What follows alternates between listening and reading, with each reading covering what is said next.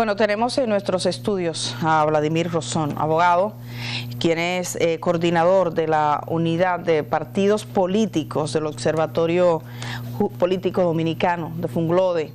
Él ha estado en otras oportunidades, yo creo que es la segunda o tercera vez que converso con usted, ¿verdad? Muy buenos días.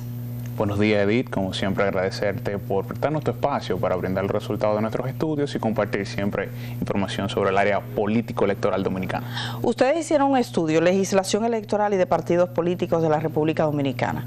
Así es. Eh, me gustaría conocer esos resultados, pero antes, como estábamos hablando de del Código Penal, sí me gustaría de alguien como usted que ha estudiado partidos políticos, no solo en República Dominicana, sino fuera de nuestro territorio, ¿Qué opina, porque ha generado mucho debate, la, la intención de los legisladores de dejar fuera del Código Penal la responsabilidad penal de los partidos políticos? Eso excluiría, por ejemplo, lavado de activos, delitos de todo tipo, que eventualmente un partido sea utilizado como una maquinaria de lavado, por ejemplo. ¿Qué opina usted de eso? Bueno, fíjate, sin duda que ese es un tema bastante, bastante delicado, ¿no? Porque de hecho la propia ley electoral establece un acápite completo de lo que son delitos y crímenes electorales.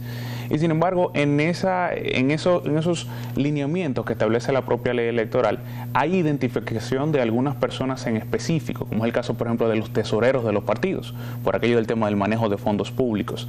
De manera que ya la ley electoral tiene algunos indicios de eso. No obstante, el dejar fuera del Código Penal eh, requeriría, sin lugar a dudas, un mayor debate porque es evidente que figuras dentro de los partidos debían responsabilizarse. En América Latina eso no es algo, eh, digamos, eh, raro. Existen países como Chile, Argentina, donde figuras dentro de las estructuras de los partidos son responsabilizadas y pueden ser acusadas penalmente si cometen algún ilícito, sobre todo tipificado en la ley electoral.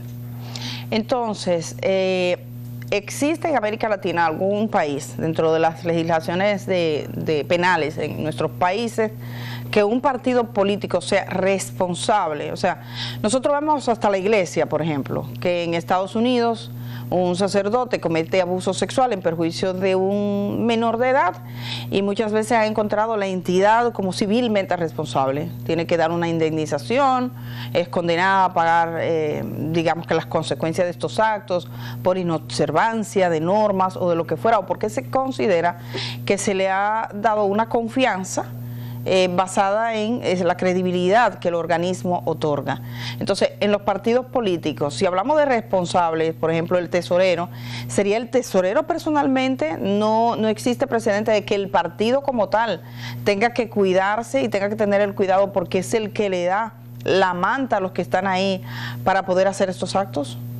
Bueno, fíjate, en la región, por ejemplo, los casos en los que se involucra el partido más que nada es para acusaciones ciudadanas. Sin embargo, judicialmente son pocos los casos donde vemos, porque el partido como ente jurídico, evidentemente, es muy difícil en los casos en que suele ser involucrado la marca como tal. No obstante, miembros de los partidos sí pueden serlo en razón de la figura que desempeñan en el partido.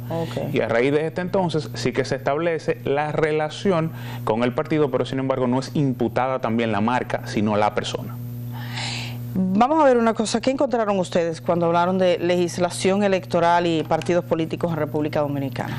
Sí, fíjate, este es nuestro más reciente estudio y lo quisimos hacer porque la recién estrenada Junta Central Electoral en sus primeros días estableció un llamado a los partidos para consultas, para una modificación o una propuesta de modificación a nuestras nobles, la ley electoral número 1519 del 2019 y la ley, la ley de partidos número 3318 del año 2018, es decir, dos leyes bastante nuevas.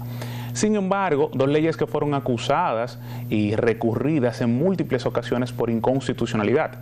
Recordaremos, como siempre, el artículo famoso, artículo 45, que prohibía la difusión de mensajes negativos a través de las redes sociales para empañar la imagen de un candidato. Este fue derogado y asimismo hay muchos más. Otro interesante fue el artículo 25 que establecía que los partidos que fueran por primera vez unas elecciones no pueden ir aliados. Este también fue eliminado y hace una serie de articulados. Esto es el primer elemento que lleva a lo que es una reconformación de estas dos leyes que a pesar de que duraron más de dos décadas en el Congreso, nacieron con defectos de origen. Estamos, eh, estamos hablando eh, de la necesidad de hacer ciertas reformas, aplicar más reformas todavía en República Dominicana. Así es, así es. Lamentablemente, y a pesar de ser dos leyes tan nuevas, estamos hablando de que necesitamos leyes eh, reformas a estas leyes. Y hay varios elementos que nosotros estuvimos estudiando eh, en estas porque eh, sin lugar a dudas ya comienzan a llamar la atención, sobre todo de cara a los procesos electorales venideros. Y te puedo ir comentando algunos Para, que, para que vayamos viendo. Mira, lo primero es que la duración de la campaña en República Dominicana no está delimitada. El artículo 155 de la ley electoral establece, ojo, que la campaña se, se entenderá abierta a partir de la proclama de la Junta Central Electoral es decir, no se establece una cantidad de días o un plazo específico que debe durar la campaña, sino que queda discreción del órgano electoral. Y esto evidentemente debe delimitarse, porque si no estaremos en la misma situación de las famosas campañas extendidas en el tiempo y el consecuente alto costo que suponen las mismas. El tema de las campañas eh, políticas como el de financiamiento parecen ser eh, vitales. En el tema de la campaña política, aunque ahora la Junta Central Electoral se supone da apertura a la campaña electoral en un momento determinado y dice cuál es el cierre, en la práctica eso no se cumple. Muchos partidos políticos están en campañas desde antes. Cuando ustedes piensan en una reforma eh, legislativa que implique una responsabilidad en ese sentido, ¿cuáles son los mecanismos que utilizan en otros países, por ejemplo?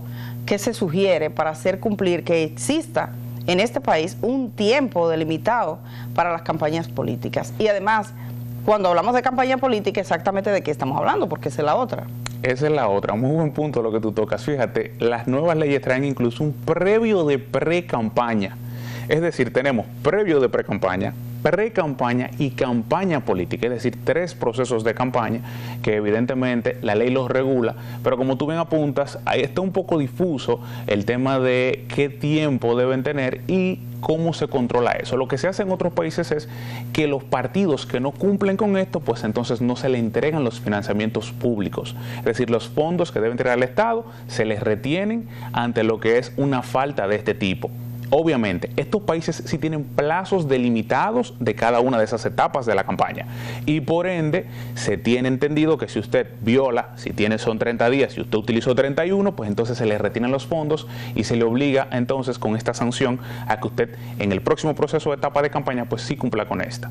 Ahí mismo, y hablando del tema del financiamiento, tú sabes que tuvimos recientemente una sentencia del TSA que cambió... Tribunal Superior Administrativo. Así es, Tribunal Superior Administrativo cambió lo que era la delimitación de los partidos mayoritarios y minoritarios.